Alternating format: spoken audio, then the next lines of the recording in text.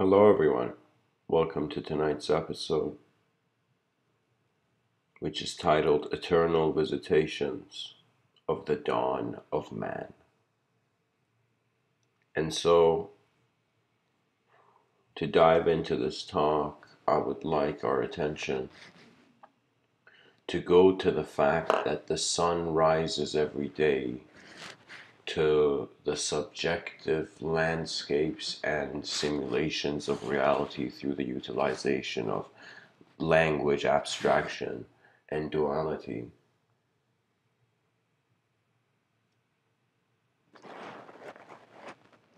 Just like how we open our eyes, and that's a sort of light in the room, a light of attention. Just the fact that the earth is spinning around the sun for the creatures on earth. And when I say creatures on earth, it, whenever you want to make something profound, you just have to increase its scale. That means you gotta see its interconnectivity. Uh, you gotta see the, in, in, in some sense, the inseparability and the new interconnectivity of the uh, macrocosm with the microcosm. So what I'm kind of saying here, guys, is that our species, they say 99.9% of species, you know, go extinct. So our species is going to go extinct, but then we see the sun rises and life forms on this planet constantly awaken. So in some sense, how profound of a picture is this? That through a certain geometrical relationship, waves are hitting this sphere to, in some sense, uh, um, fill it with light, intelligence. When we look at our intelligence, we cannot avoid color, we cannot avoid sight. Because sight is being the world we are in, we see we are in a world of our senses. Now, what you see, there's something cool about it it's prior to you having any thought to any object in this existence, that object is in some sense itself uh, it, it, like as the Buddha, let's say, let's take the Buddhist route. The Buddha says it's uh, all the, the nature.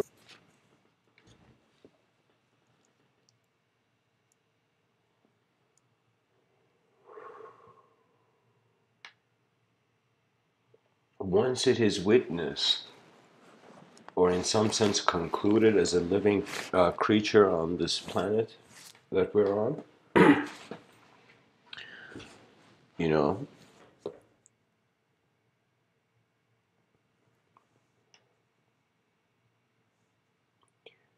light is so significant to the intelligence of the creatures on this planet that through light there is a visibility to respond to, to even have the emergence of an identity that has a free will in on a rock in the middle of nowhere. Do you see? I was wondering, like, what is the greatest knowledge to have? You know, I remember when I was younger. Um, let's just uh, take this pathway. like, let's sidetrack for a second. I want to share this. When I was younger, I heard a story, and it was a story of this poet named Jalaluddin Maulana Rumi. I heard this, I think, when I was like 15 or something. And uh, it, this story was a story uh, about this very profound ancient Persian poet. I say ancient, but it's not. It was like, I don't know, 700 years ago. And um, this poet, Jalaluddin Maulana Rumi, he was in his mid 20s sitting by a fountain reading this science book, and back in the day, there weren't that many, and to even have access to one was a rare occurrence. So Rumi's sitting there reading this science book. Out of nowhere, this spiritual pilgrim, or as they would say back in the days, this spiritual wild man appears. You know, this kind of traveling, uh, kind of hermit or wise man. You know, I wouldn't ever say her- say hermit, but you know this uh, dervish by the name of Shams Tabrizi comes to this kid, comes to Rumi, and comes to Rumi and says, "Hey kid, what are you reading?" Like out of nowhere, this guy popped out of nowhere, and he's like, "What are you reading?" And Rumi tells him.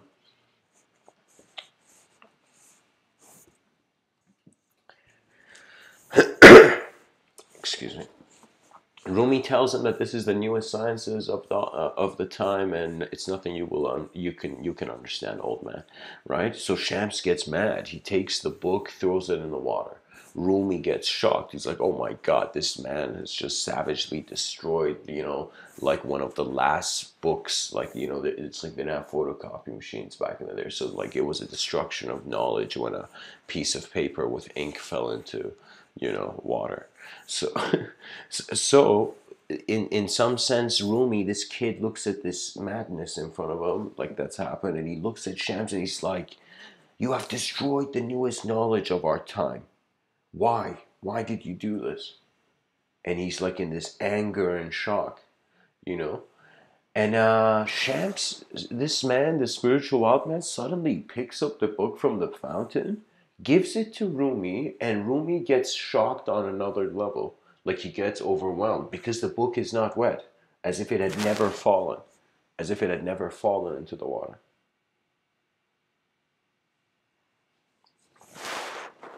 Shams turns around to Rumi and says, Knowledge that could be wiped with water is not real knowledge at all.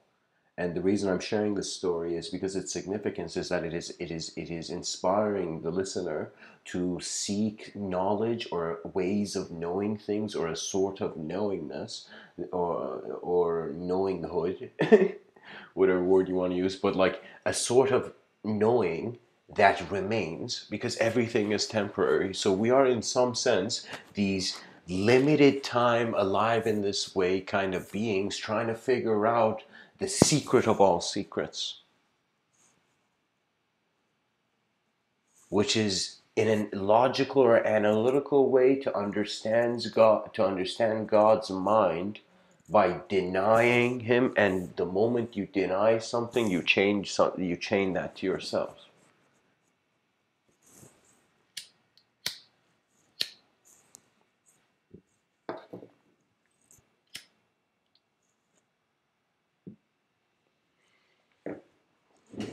So, pretty much what I'm saying is in a world where there's this endless cycle and our species, you know, like it will eventually go extinct and perhaps new species will arise or different things will happen, you know, but it's one of those things that we are experiencing a tiny bit of a participation in an infinite cycle of changing manifestation when I say manifestation, it doesn't mean it is physical or non physical.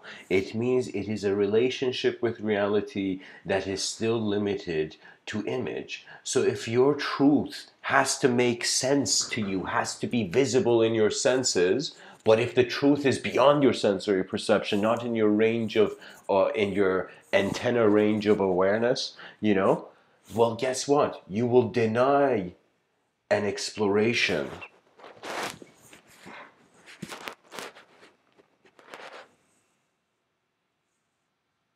that its denial is ignorance. Our species has to be catalyzed. That's the purpose of the past, to just inspire the present moment to go to the future. I mean, what other purpose do you have? You know, I, I remember hearing this um, very profound sage and yogi by the name of uh, Papaji, you know, and Papaji was a disciple of Sri Ramana Maharshi, and Mooji is a disciple of Papaji you know.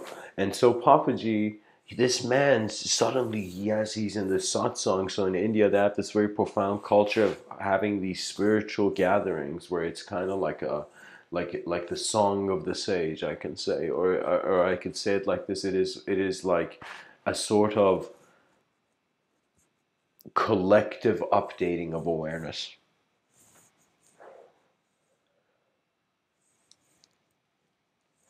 Papaji says the past is a graveyard and thus suggests the mind is a graveyard.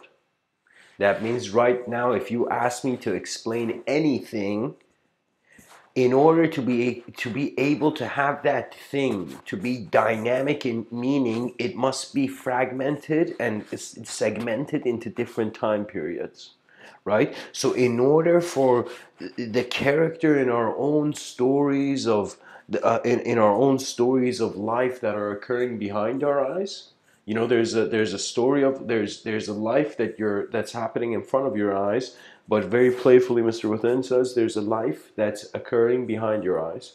And when I say Mr. Within, guys, I'm referring to my uh, collective self in some sense because I believe you cannot be an individual without a collectivity and you cannot have a collective experience without an individual individuality. So what I mean by that is I, I enter actually believe it or not, I think I was born atheist.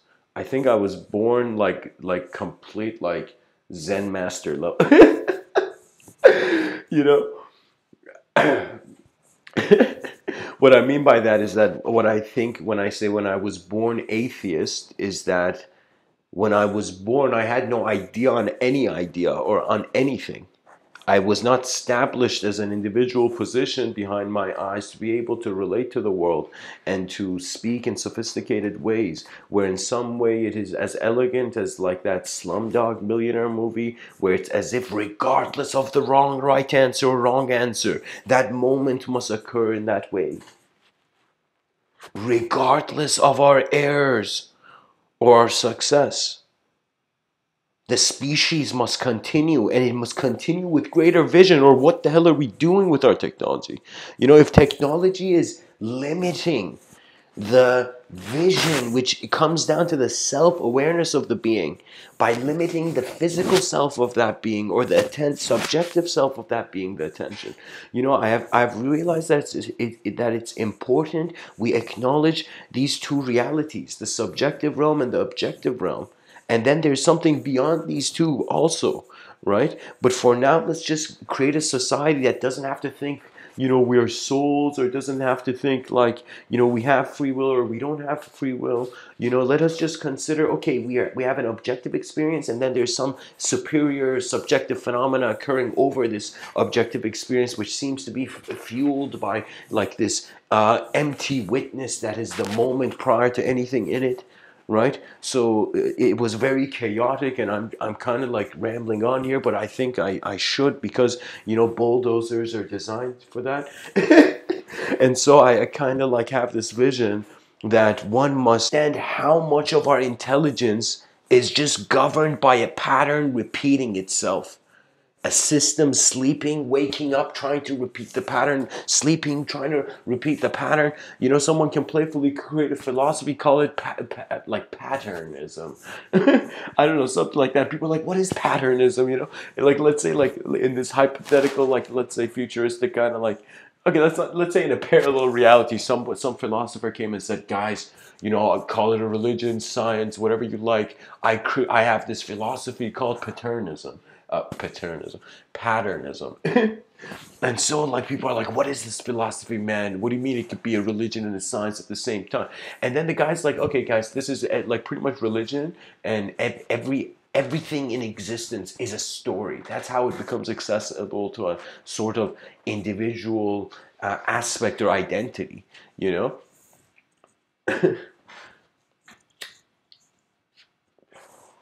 I've had good things happen recently, so I'm in like this kind of like re- like ex- like a sort of subjective rebellious freedom, which one begins to see that their life doesn't have to be defined by any belief at the same time one realizes okay let's agree so your life doesn't you don't need to believe something right? Then you see at the same time you don't need to disbelieve something because belief and disbelief will be subject to a spectrum of time that considers a sort of past present future to the the, the time to the trio you know?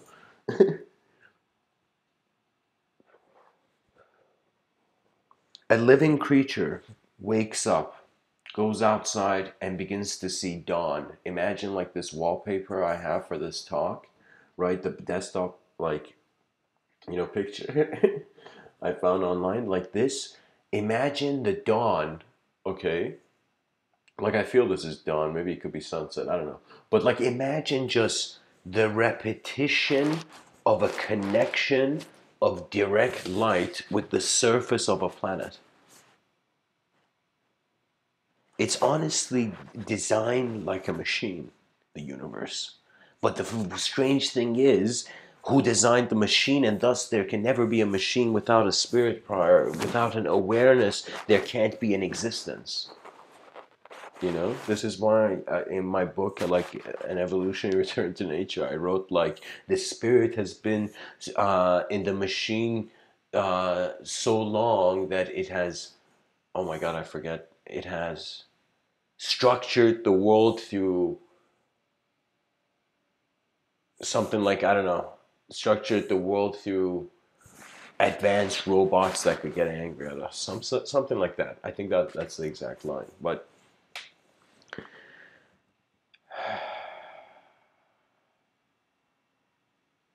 what do we do with a waking repetition of manifestation and experiencing this up and down energy wave? We see either our technologies are going to, both inner and outer technologies, are going to move towards giving the person a, sort of um, it's as if like an updating system deserves to live Okay. That's it might be bit difficult to kind of like relate to that, I guess.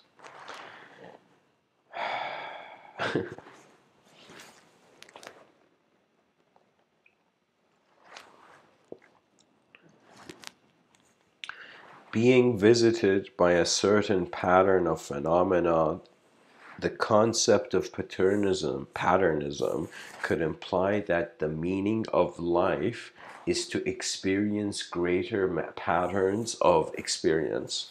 And these patterns require one to attain at first a pure experience, as if like before you want to see what you believe in, you want to see what you are that you even eh, like who who is even believing what I like what you believe, right? So that's when self-inquiry begins. When the dimension of self-inquiry begins, in some sense, like what that means is that you're beginning to reestablish your relationship with the known and the unknown like that's why there's people still in the world talking about spiritual experiences because they've experienced unique moments where their relationship with the known and the unknown has changed.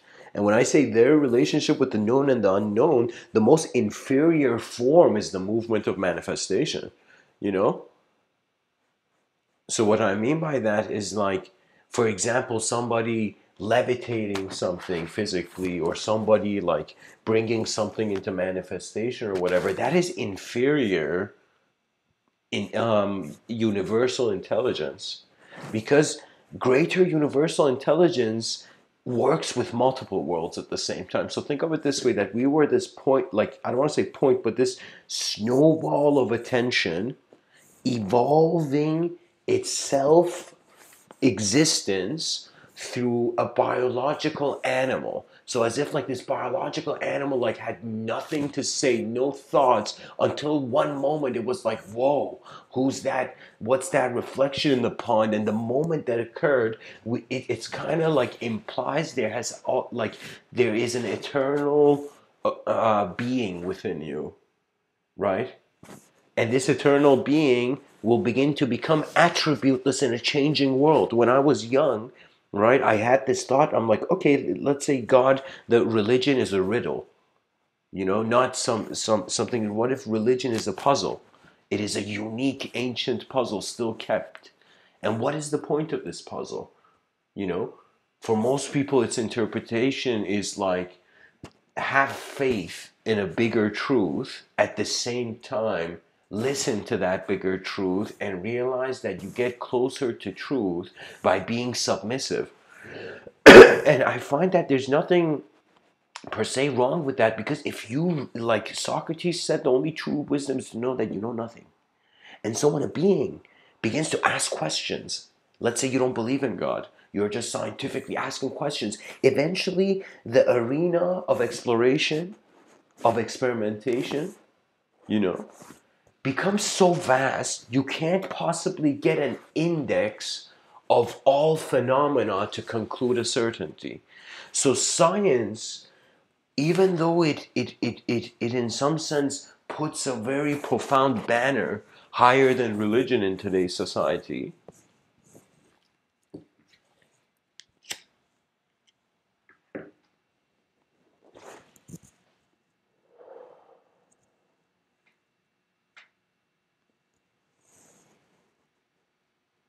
it is rejecting certainty due to the unknown being able to update. Human beings fundamentally have to just confront few things. I think a human life is not really complex. It can become infinitely complex. You can le- legit add layers of opinion over your opinions you know? It happens even in your subconscious but many people don't realize it. Like it like for me my experience with the unknown and with the subconscious came through a sort of pattern breaking because of a, a, an intersection of an awareness to another pattern simultaneously occurring. You know as if like like i'll give you an example. Like imagine there's like um a band. Like this is pretty much like similar to kind of plato's work but I guess I'll create a I'll create I'll adapt a modern version. Um, imagine there's a drummer, and this drummer has no idea who's behind them, but and he's never played the drum. Let's say he's instantaneously becoming a good drummer by just holding the drum, and he's he hits he hits one like he hits the drum, and let's say instantaneously when he does this, there's like a like a bunch of people with different instruments just trying to plan to same time this guy plays to play Okay? So that person will go on believing that the sound of a drum is like the sound of five instruments at once. But when it suddenly begins to realize it's not, it's only one instrument, but simultaneously other instruments are playing at the same time. It's not just one sort of universe. There's 8 billion other universes of living beings on this planet occurring at the same time. So what we share is the sameness in the experience of the moment of our time, right? Because time is not a tangible thing. Time is an observation. Space is an observation which come down to the observer. So science is all quantum physicists and every person who creates a for, uh, like a theory on uh, a macrocosm will eventually find that that theory cannot pass the test of all the different worlds that are going to look upon that idea right? So ideas are not per se even the, too important, even though I, I at, at the era that I'm alive right now in 2019, I have to say they are incredibly, they should be treated as if they're incredibly important. But overall, right, for an for, for let's say an enlightened civilization, an enlightened civilization doesn't need that. An enlightened civilization has tapped into a sort of collective, as if like all wars have become in some sense internalized and all peace has been externalized. We're just replacing it. Instead of trying to find inner peace in a messed up outer world, we want to create a peaceful outer world and then immediately, in some sense, push the chaos of our lives in our inner realm where we can instantaneously vanish it through a change of our attention. Your attention is key. It like it, let me tell you this. You will become a master in this existence by studying how your attention is being the moment which is being the mind of the world. That's it. Study how you are being a being in a world where all that is being is on a rock in emptiness, or what seems to be empty, but filled with intelligent design. And I'm not using intelligent design, in, in, uh, I'm using it in a unique way that when you look at the designs of matter, there is an intelligence at work. There are forces shifting worlds. so, pretty much what I'm saying is that when one is caught in a cycle, they will, after being constantly in that cycle, suddenly notice things that they haven't noticed before. Once they notice the di- this difference you see like man there's two ways of kind of like liberation. Either you liberate the world or you liberate the self or you find the eyes of the witness beyond the, uh, which is a greater superior a, a sort of liberation. Because honestly like why would i be giving these talks guys? Let me tell you why. Because we're all alive once and regardless of what ideology like fashion clothing we put on in various moments, we are changing beings. And by being changing beings, our patterns don't stop. we do like the uh, observation is an evolutionary uh, either symptom or force. It's either an evolutionary cause or an evolutionary effect or both. Because what is the value of multidimensionality when one dimension still has no idea how to handle itself? You cannot access greater worlds of shape. You cannot act, let's say playfully, I'm saying this, you cannot access higher dimensions of existence and experience unless you find a responsibility that can see beyond your expectation. When you can see beyond your own expectations, you have found, in some sense, the uh, what some say the eternal observer of the moment.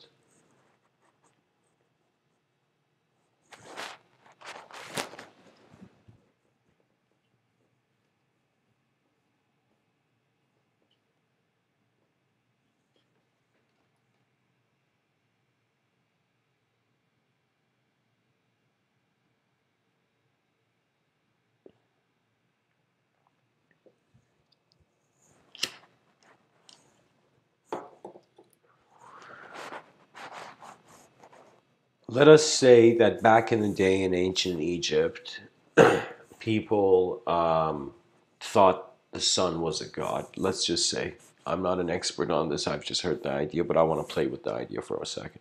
Right, entertain the idea. So, so, so people, let's say, at some point on this planet, looked at the sun and they're like, "Yo, everything's coming from that. That's God." okay,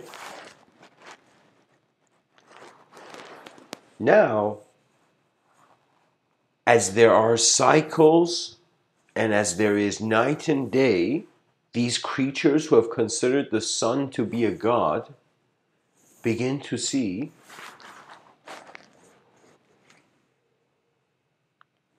that they have established relationship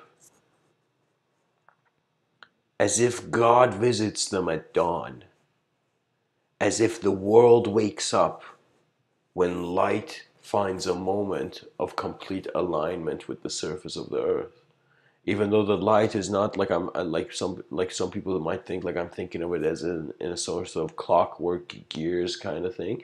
Um, I'm thinking of it more in the sense that pretty much what I'm trying to say with this title is that there is a profound relationship with a cycle that comes across as a sort of divine chaos and divine order. When I say divine chaos, divine order, that occurs when the idea of the being feels it has uh, tapped into a macrocosmic self. A macrocosmic self is pretty much an endless mind or an edgeless mind, or I can say a limitless uh, a limitless attention.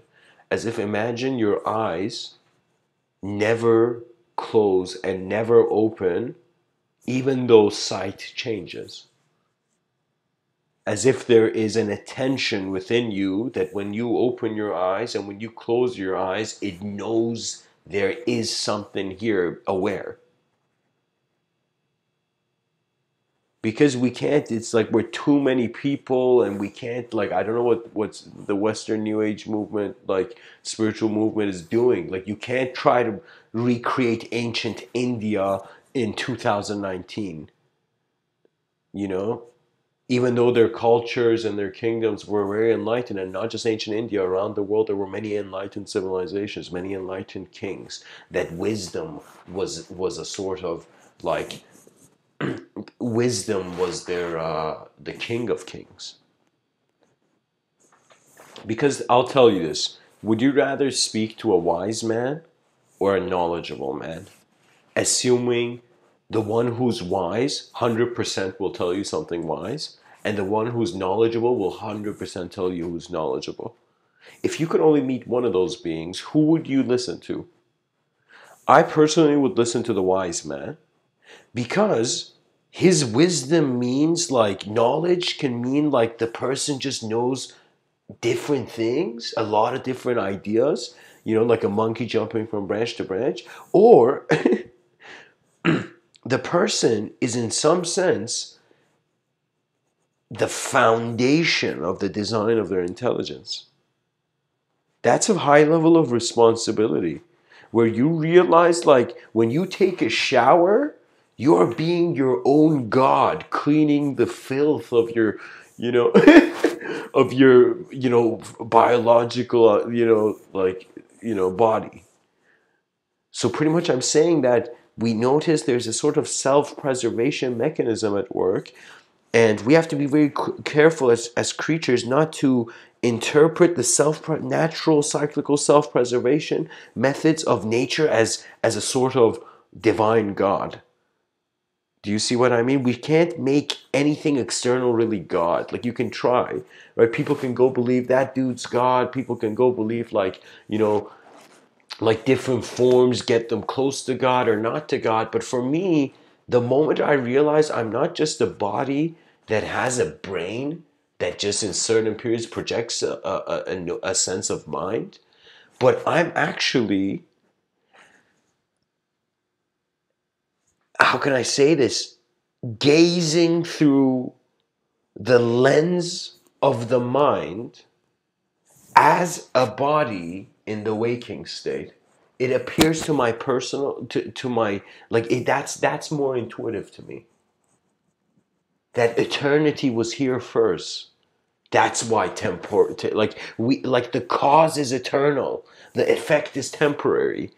Me and you have incarnated in the effect of a sort of uh, unseeable, like we can't see it. It's either too too in the past or just beyond our minds or whatever, right?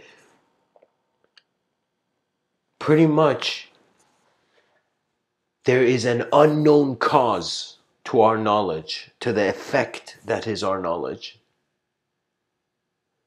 And wisdom begins when you tap into a sort of mysterious awakening, this excitement that filled, conditioned way of thinking being shaped into a certain way. As if believe it or believe it or not, I feel like when I was born, I was thrown in ideological dirt but I had to because you got to get your hands dirty when you want to get to work. so what that means is you got to embrace the chaos and the moment you become responsible for the chaos, you instantaneously get a greater ability to become responsible for the order. What does that mean? That means when a person goes through an intense experience, afterwards, experiences of lesser intensity are have become experiencedly easy to navigate through because there is a sort of climate of self uh, interpretation that occurs in every moment of the being's attention. You know, either you are oneself or you are endlessly different variations of, you know, the same self. The Patanjali Yoga Sutras explain consciousness in a very beautiful way. I think this can contribute to um, to academia and scientific circles. So if anybody hears what I'm saying, like run to, to your local university and spread the word. spread the word of ancient mystical ideas, you know?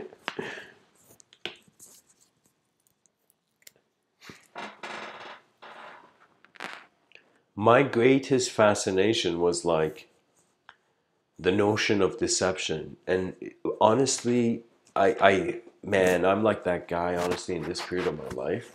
I've written so many different books that are unpublished, or in some sense, I've drawn out the basic blueprints for the books, and I just have to write them with my own poetic, like, improvisation the moment I write them. But I'm kind of telling you, like, the source of language was a book I worked on, which was a series of essays and series of entries. And and the source of language was making the suggestion that what is the source of language, whatever physical thing we conclude that is producing language, is being observed by an unknown viewer that thinks it's a thought that accepts an abstract body which gives it access to also an abstract world. This is why without names, we're just shapes. But names are shapes which are kind of like this faster dimension that we create and put um, layer upon our most immediate meaningless reality. So I can tell you pretty much the reason music is very profound for many people and has a healing quality um, is because it is out of nothing bringing an intelligent movement. And there's a way of kind of observing intelligent movement and getting inspired. And then there's a way where you realize, oh my God, inspiration and motivation do not come from outside of you. The only advice, the only self help advice in this existence that I believe is be aware of yourself beyond the self that is aware.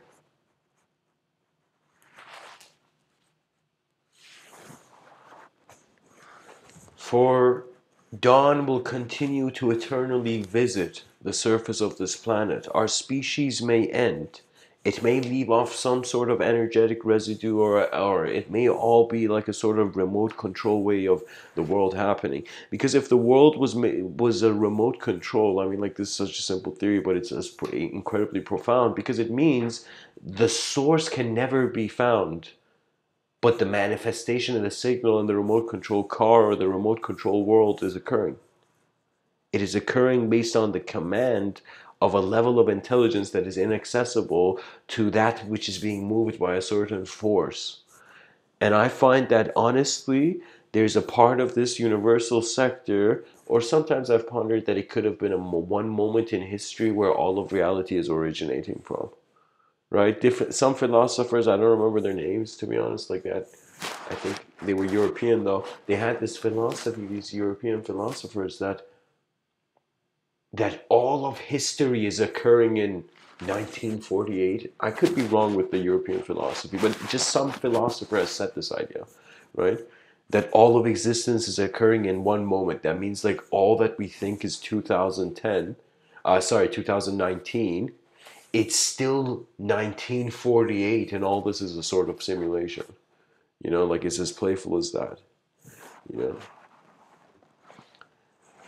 I don't know what else to say to be honest. All I all I do kind of when I give these talks is I get I sit down and I try to honestly look at the world and then some somehow I notice these subtle patterns of movement as if like most people it's not that they're not creative is that they are they have not studied how their mind is being the appearance of a life and to study this doesn't mean doesn't mean you got to go to India and live in a cave. It doesn't mean like you got to suddenly change everything.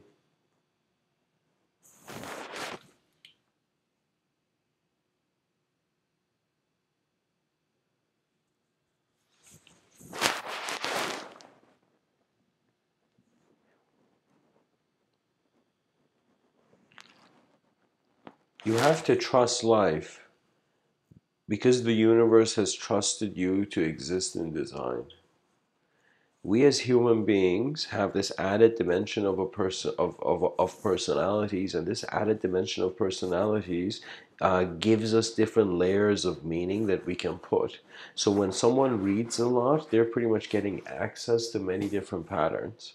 When they suddenly hear something, all those patterns try to somehow relate. And the mind is not just some sort of machine that's the sophisticated advanced pattern recognition thing.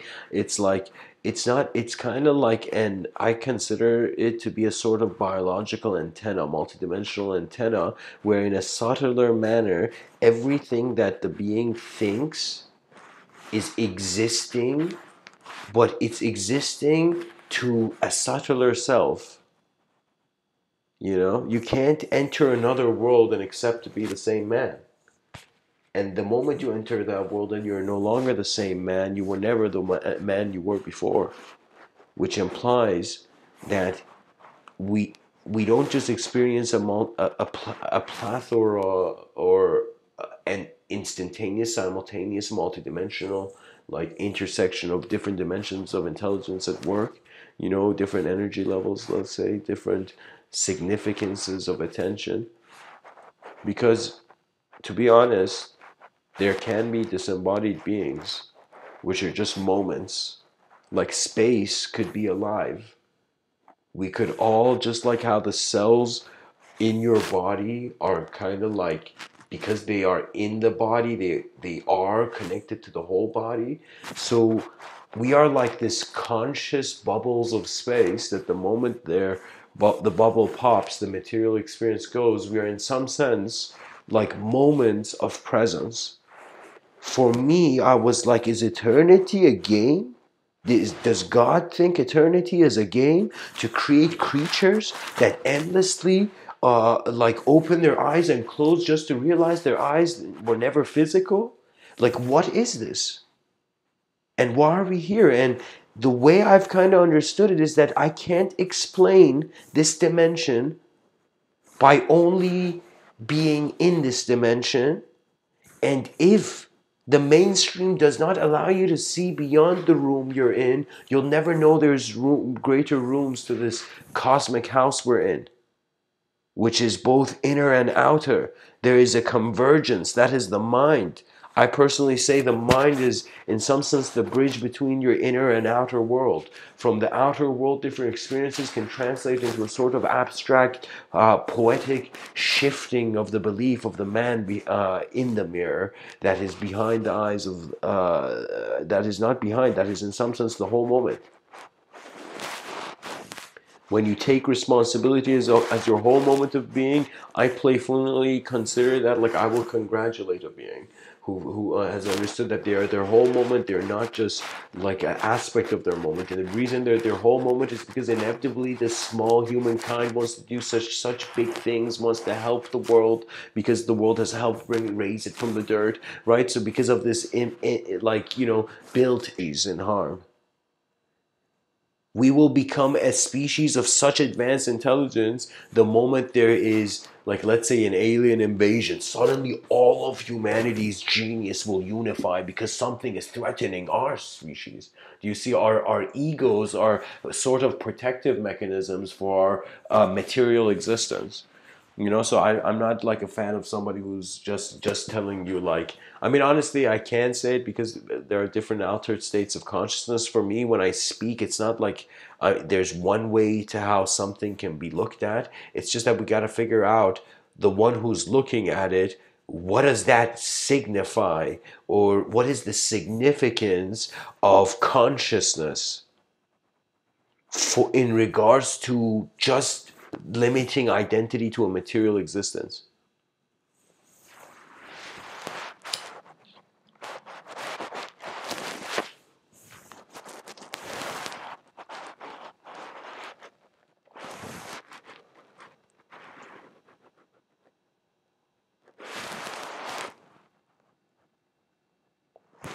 This is life are the only person who can revalue your moment of being. Nobody can change you because your free will dictates how it interprets any sort of change. So, for me, for people who go through rough experiences uh, often,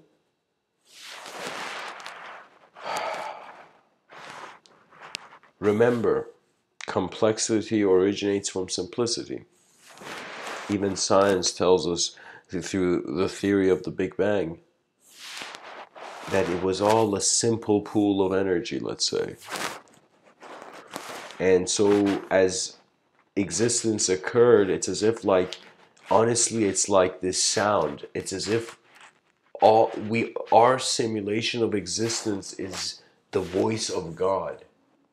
And the reason I say that because you got to look at how the Big Bang is moving. It's as if like there was something and then something came out of nowhere as if God shouted and the world was there. And that that frequency sent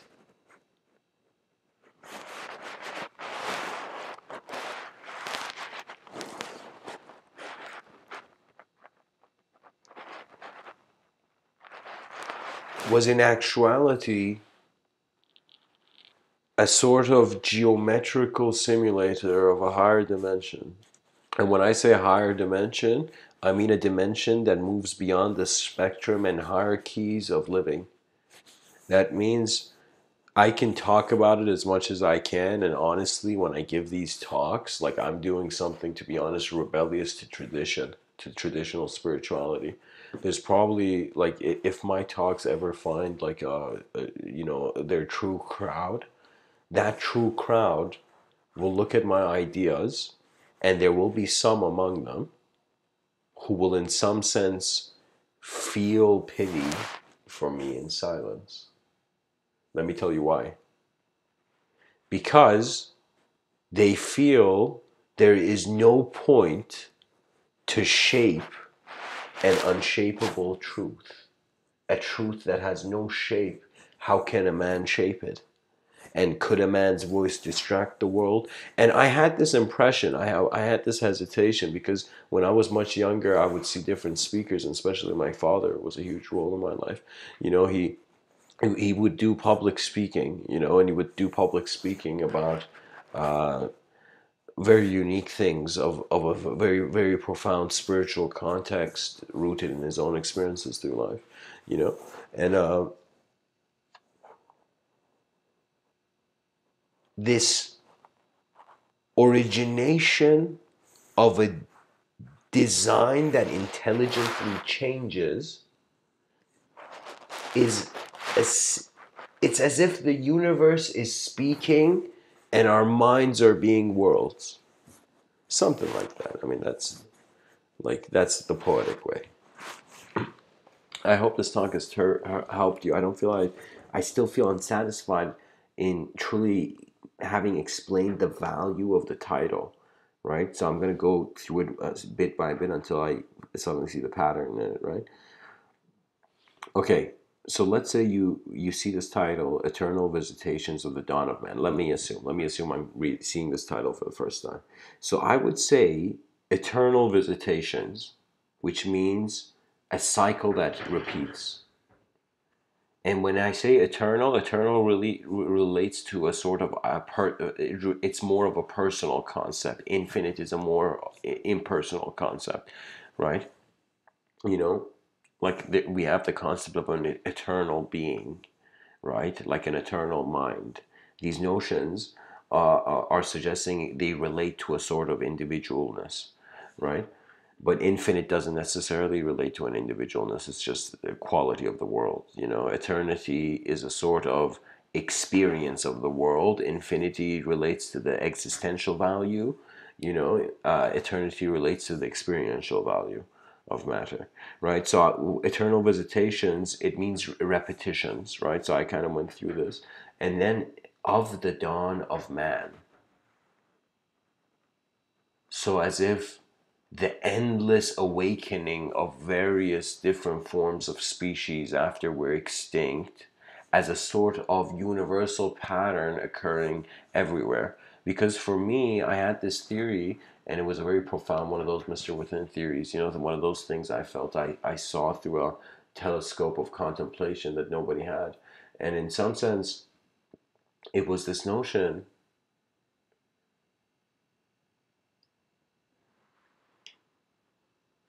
that how can eternity be eternal to itself unless it sees the temporary, thus rendering eternity and infinity also an illusion? I just concluded this right now, guys. I just noticed something about this. So I feel that there's greater things even beyond a sort of eternal uh, uh, satisfaction of a sort of behavioral uh, rhythm of the person's identity as if like you're living in this life with a certain way of looking at things and you want this to continue on. You know well guess what? It's it shouldn't. You know nobody can tell nature what to do you know especially the ants under a rock called you know earth. For me i find that uh um, I, I feel I understand. Like the title, pretty much I'm saying, like, let us not forget the value of moments where even though we may feel we cannot escape the hamster wheel of karma, okay, but there are moments where there is pureness experienced. Every person, you cannot live a lifetime without having an enlightening moment. It just, it, you cannot. I don't know why people are so obsessed over enlightenment. You know, enlightenment, it, it's, it's more of like an effect of a sort of cause. It is a sort of kind of updating of what you could not see before and now you can. Don't be fooled by methodologies that promise something in the unknown that you can't see. Rather, be curious about your own design. Become a, become that designer that's studying the design of your moment of being, your moment that you're here right now, and you will instantaneously access a state of being that is collective and you're going to get access to like endless designs which is i poetically and very playfully in 2010 wrote a book on this. I called it the inventor sphere. It's pretty much like I very playfully in that book explained like this sphere, like the center of existence, where all and like endless designs are just emanating like the beams of the sun. Uh, you know that in some sense the sun's light beam. This was the theory I wanted to point out er- earlier. The the light of the sunbeam is not just it doesn't have only sensory value it has a sort of uh, uh, share like I, I I feel we we evolve not just because of our material roots also because of our relationship with light and not just an abstract way or in a physical way. In a way where light was non-stop being a sort of energetic shower of various patterns.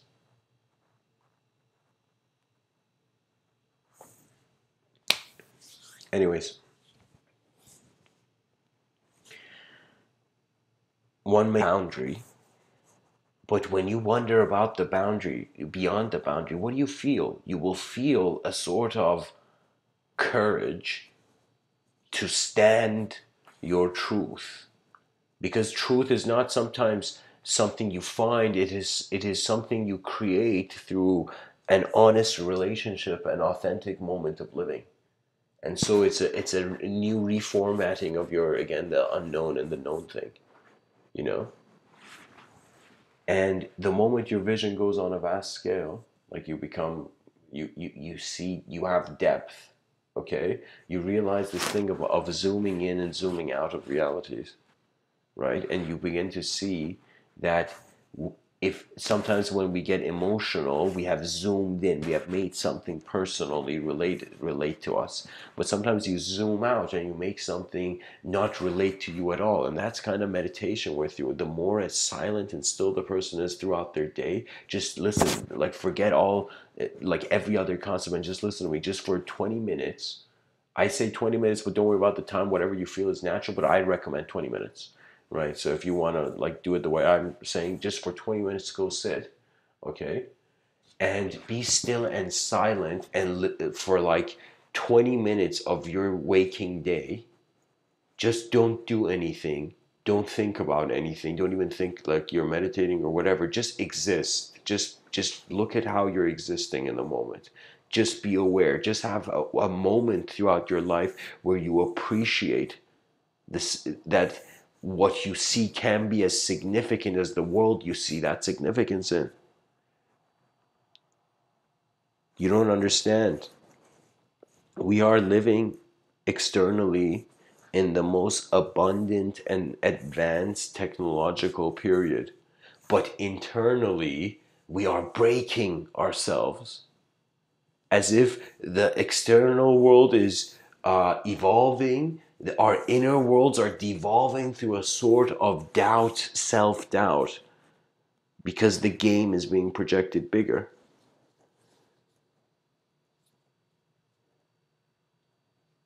Because let me tell you, when I was born, I said a statement earlier that I think when I was born, like I was an atheist. Let me tell you this: no, I was nothing. I was no con. I wasn't concept based. Beliefs are just people's just momentary identification with a sort of conceptual self they have. You know, there. The, it's not that it's valueless, but its value can always be adjusted. So most people have to adjust. In like you, you got in. Like let me tell you this. This is the problem with dictators, and this is the problem with like power. Right. The problem with power is that the person wants the world they see in their head they, they want the external world, they want the objective realm to abide by the subjective realm. They want the external world to have to listen to their inner world, right? So they're trying to make their inner world a reality in the outer, right? And now there's balances to this and there's appropriateness and inappropriateness. But, like, for example, Hitler, he was like, rather than me going with the flow of the world, the world has to go with the flow of the world I think in my head. Like one dude was like, "All right, I'm gonna make everybody listen to me." Like, like, damn, you know.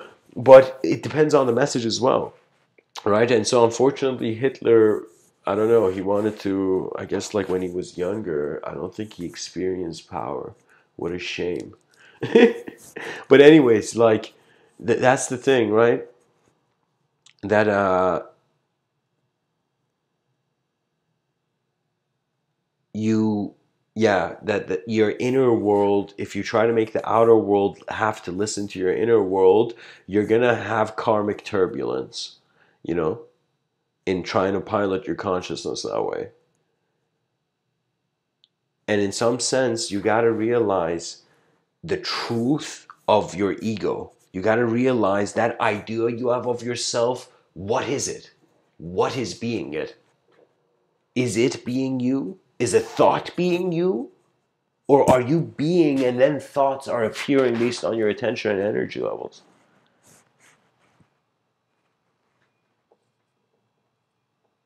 Every being is a unique, unique energetic expression kept.